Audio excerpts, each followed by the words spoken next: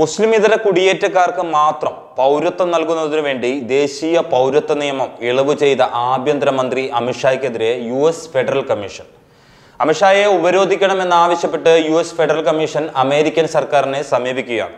പൗരത്വ ഭേദഗതി ബിൽ തെറ്റായ ദിശയിലേക്ക് പോകുന്ന അപകടകരമായ വഴിത്തിരിവാണ് എന്നാണ് യു എസ് ഫെഡറൽ കമ്മീഷൻ അഭിപ്രായപ്പെട്ടത്. ലോക്സഭയിൽ പാസ്സായ ഈ പൗരത്വ ഭേദഗതി രാജ്യസഭയിലും കൂടി പാസ്സാക്കുകയാണെങ്കിൽ ഇന്ത്യൻ ആഭ്യന്തരമന്ത്രി അമിത്ഷായെയും മറ്റു നേതൃത്വത്തെയും ഉപരോധിക്കുന്നത് അമേരിക്ക പരിഗണിക്കണമെന്നാണ് ഇവരുടെ ആവശ്യം. ഈ ഭേദഗതി ഒരിക്കലും അംഗീകരിക്കാൻ സാധിക്കുകയില്ല. പൗരത്വത്തിന് വേണ്ടി ഒരു മതപരീക്ഷണം നടത്തുകയാണ് ഇന്ത്യൻ സർക്കാർ. ഈ ഭേദഗതി നൽകുന്ന സന്ദേശം ആശാവഹമല്ല. രാജ്യത്തെ പൗരന്മാരെ ഭിന്നിപ്പിക്കുന്ന ഭേദഗതിയാണ് ഇത് ദശലക്ഷക്കണക്കിന് ഇന്ത്യയിലുള്ള മുസ്ലിങ്ങളുടെ പൗരത്വം ഇല്ലാതാകുമെന്ന് തങ്ങൾ ഭയപ്പെടുന്നതായി അമേരിക്കൻ ഫെഡറൽ കമ്മീഷൻ അറിയിച്ചു. നിയമത്തിന് മുന്നിൽ എല്ലാ വിശ്വാസികൾക്കും തുല്യത ഉറപ്പുവരുത്തണം.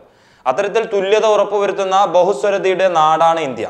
ഇന്നുവരെ ഇന്ത്യ വളർത്തിക്കൊണ്ടുവന്ന ഈ ബഹുസ്വരതയെ ഇല്ലാതാക്കുന്ന നിലപാടാണ് ഈ പൗരത്വ ഭേദഗതി ബില്ലിൽ കൂടെ ഇന്ത്യൻ സർക്കാർ നടപ്പാക്കുന്നതെന്ന് അമേരിക്കൻ ഫെഡറൽ കമ്മീഷൻ ആശങ്ക പങ്കുവച്ചു. ഇത് രാജ്യത്തെ ഭരണഘടനയുടെ അടിസ്ഥാന തത്വങ്ങൾക്ക് എതിരാണ്. ഒരു മതത്തെ മാത്രം ലക്ഷ്യം വെച്ചുള്ള ഗൂഢാലോചനയാണ് ഈ പൗരത്വ ഭേദഗതി ബിൽ. മതം അടിസ്ഥാനമാക്കിയുള്ള ഈ ബിൽ ലോക്സഭയിൽ പാസ്സായതിൽ വളരെയധികം ആശങ്കയുണ്ടെന്നും അവർ പറഞ്ഞു. മുസ്ലിങ്ങളെ പ്രത്യേകമായി ഒഴിവാക്കി മതത്തെ അടിസ്ഥാനമാക്കിയുള്ള പൗരത്വത്തിന് നിയമപരമായ മാനദണ്ഡം നിശ്ചയിച്ചിരിക്കുകയാണെന്നും യു എസ് ഫെഡറൽ കമ്മീഷൻ ആരോപിച്ചു. മതസ്വാതന്ത്ര്യത്തിന് വേണ്ടിയുള്ള അന്താരാഷ്ട്ര തലത്തിൽ പ്രവർത്തിക്കുന്ന കമ്മീഷനാണ് യു എസ് ഫെഡറൽ കമ്മീഷൻ. മുസ്ലിങ്ങളെ ഒഴിവാക്കി രാജ്യത്തെ പൗരന്മാരെ ബന്ധിപ്പിച്ചുകൊണ്ടുള്ള പൗരത്വ ഭേദഗതി ബില്ലിനെതിരെ അന്താരാഷ്ട്ര തലത്തിലുള്ള എതിർപ്പിന്റെ ഉദാഹരണമാണ് യു എസ് ഫെഡറൽ കമ്മീഷൻ എടുത്ത ഈ നിലപാട്.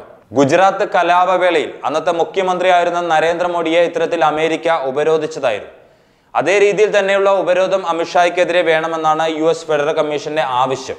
ഇന്നലെയാണ് ലോക്സഭയിൽ ദേശീയ പൗരത്വ ഭേദഗതി ബിൽ പാസ്സായത്. ഏഴ് മണിക്കൂറുകൾ നീണ്ട ചർച്ചയ്ക്ക് ശേഷമാണ് ബിൽ പാസ്സായത്. പ്രതിപക്ഷത്തിന്റെ ശക്തമായ എതിർപ്പിനെ അവഗണിച്ചാണ് ബിൽ പരിഗണനയ്ക്ക് എടുത്തത്. മുന്നൂറ്റി പതിനൊന്ന് പേർ ബില്ലിനെ അനുകൂലിച്ചപ്പോൾ എൺപത് പേരാണ് എതിർത്ത് വോട്ട് ചെയ്തത്. ഇന്ന് ബിൽ രാജ്യസഭയിൽ അവതരിപ്പിക്കും. കോൺഗ്രസ് നേതൃത്വത്തിലുള്ള U P A ഘടകകക്ഷികളും Trinamool Congress S P S P B S P T R S തുടങ്ങിയ രാഷ്ട്രീയ പാർട്ടികളും ബില്ലിനെതിരെ ശക്തമായ എതിർപ്പുമായി രംഗത്ത് വന്നിട്ടുണ്ട്.